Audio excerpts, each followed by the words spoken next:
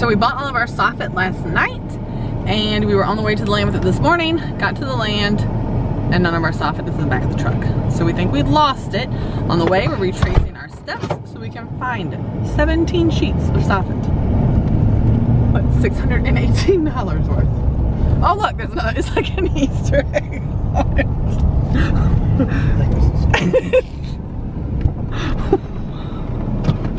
okay, that's piece number three we just found. 14 more to go. Whoa, there's two more. That's number four and five.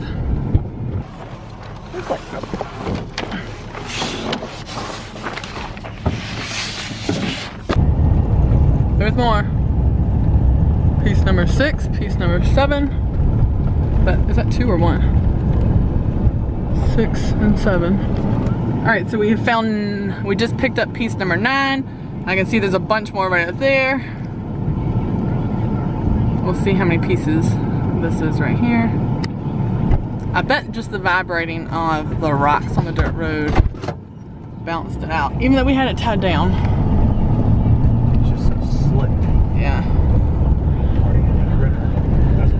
Oh yeah. Oh, that is, maybe that's the whole hunk.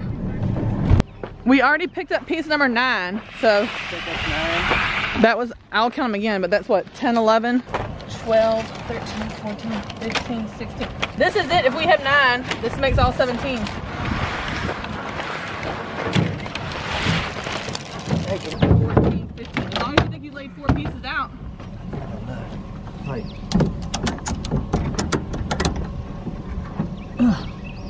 I'm not clicking anymore. How's that? All right. That oh, That should go not anywhere. go anywhere.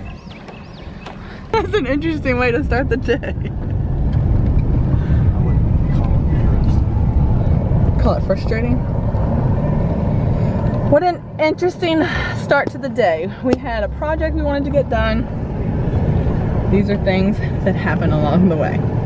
So, we're gonna go back. We threw a few pieces um, out to the side when we realized we had lost everything at our driveway.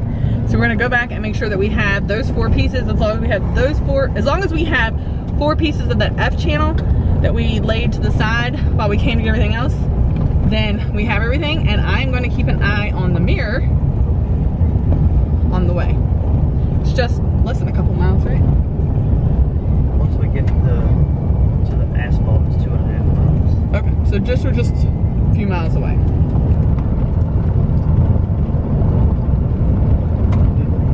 Okay, we made it back with all the pieces of soffit, all the pieces of F channel, thank goodness. So we're just unloading it here and you haven't seen our metal yet that came for the house. But here is our tin ready for the house. But we have to get the soffit up. We need to run that electrical and plumbing before we start putting that up, but at least it's here. So now we're gonna get started on, we are gonna try to mark some electrical and plumbing today. We also are gonna try to finish those gables so that we can get the solar power up and running.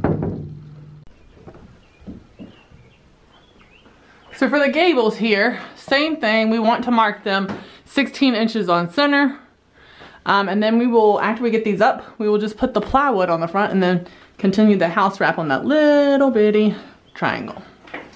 We're really just using scraps from the house stuff. So he's measuring it, marking it up there. We'll get it cut and get it up.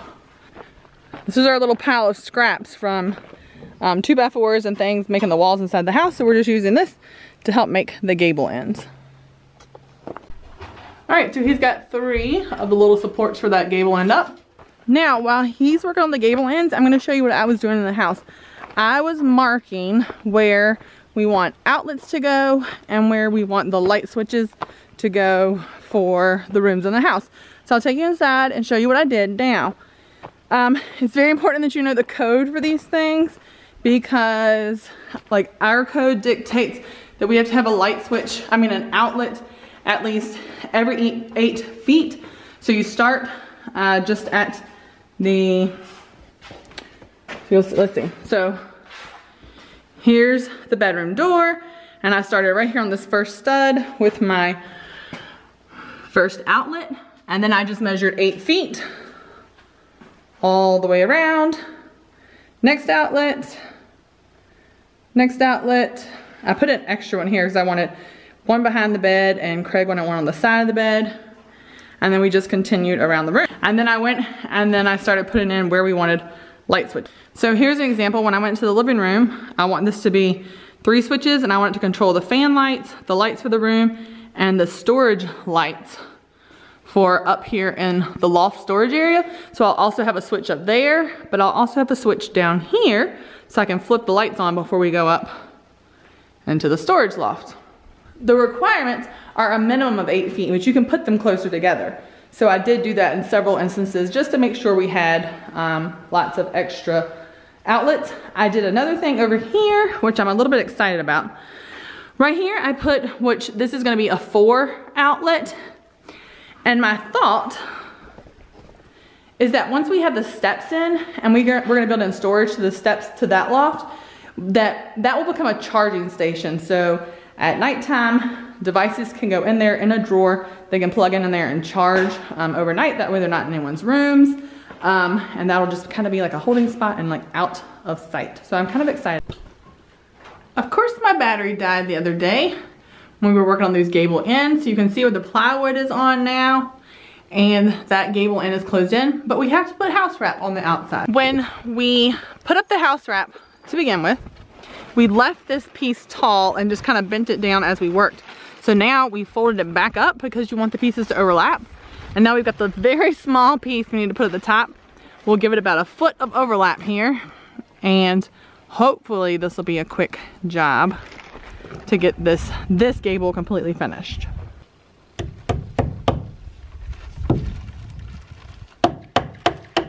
We're actually just using a piece of leftover that we had from the house. We cut out a strip. We knew how high and how long, and we just cut it out of the leftover we had from the other. Versus holding that big nine foot roll up here. That would be awful. So here it is with the house wrap completely on that gable end.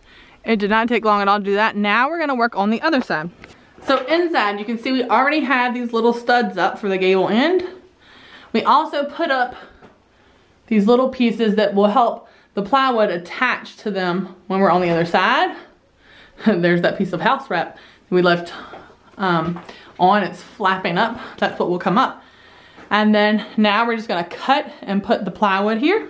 All right, so this is what it looks like from the outside. We gotta put a piece of plywood here and a piece of plywood here. And then that piece of house wrap that's hanging will flip up and attach. And then we'll do just like we did on the other side. We'll attach that last little piece of house wrap across the top. And then this will be ready for the metal. Do you want me to go and cut the piece of house wrap? Yeah.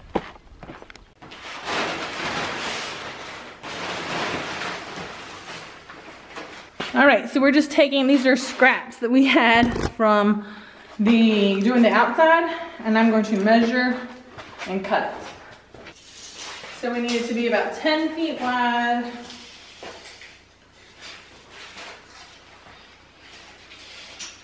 Whoa, huh. Right on 10 feet. Here's the middle, which is the five foot mark. From this five foot mark, I only have to go up 20 inches to make sure we got enough for the top. And I leave a little extra just in case. So, get myself a cut right here. All right, now we're just gonna cut it all the way across.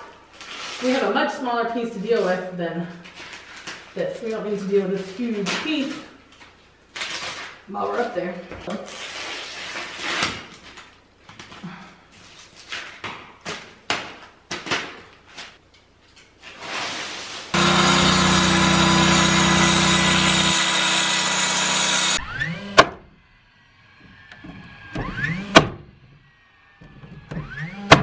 All right, two pieces of plywood up. We gotta put up the house wrap. So this is the piece that was left over from when we did the, the whole building. So we'll just tack that up, and then we'll bring the little piece over the top of it. All right, we finished both gable ends. Pretty much what I do is keep a running list in my phone. And when we, when we come over here on like the evenings, I, we just kind of work through that list. So like finish the gable. Ends has been on here for a while, you know, finish interior walls, put in a window, um, things like adding the lag screws or um, just like some things that we need to tidy up or finish up or tie up loose ends kind of we do that on the evenings. And we more or less do our big projects or like working on the plywood on the loft or like putting the metal on the roof which will kind of be the next thing here or putting in soffit things like that we'll do um, when we when Craig takes some days off or on a weekend where we have more time to devote to a big project. So that's just kind of how we're working this. But this is done now and now it's ready for the roof. We're gonna put a door on here and then we can start putting that solar equipment inside and start hooking everything up to have power. So we'll get the siding on too. Um, it's just not a top priority right now. We don't have to have the siding on. It is dried in um, this way so that's what's happening at the homestead this evening I'll keep you posted and I'm going to be sure to let you see us start that soffit um, tomorrow I don't know if you've seen the gutters here the gutters are on we are going to change that downspout though because we're going to start some rainwater collection right there um, on both ends here so that we can use it for watering the garden or watering the animals. Um, same thing on the front gutter. And yes, we don't have doors on yet, but that's because we're still waiting for that equipment to get out of there. We're to probably be working on electrical and plumbing this weekend and insulation in the ceiling. And after that, um, We'll have to have it in there for the to do the sheetrock or tin on the ceilings, whichever we decide to do. And then that equipment will come out. We'll probably install the side door before that point. But the front door, I think, is where that piece of equipment is going to roll out. And then we'll be sure to get the front door in. So I think that's where I'm going to leave you tonight. Um, you got to see all of um, a few projects coming together over the past couple of days. Sorry my battery died the other day when we were working on the loft. But that is my reminder that I need to be charging this thing every night because we're over here and I'm using it pretty much all the time. So thanks for joining us. Don't forget to hit like, subscribe if you haven't already. There's lots more coming. I'm so excited about this plumbing and electrical and insulation because after that we have like a really big inspection and then it's like sheetrock and we'll be ready for some finishing touches. We've got to get in this thing really soon. See you next time.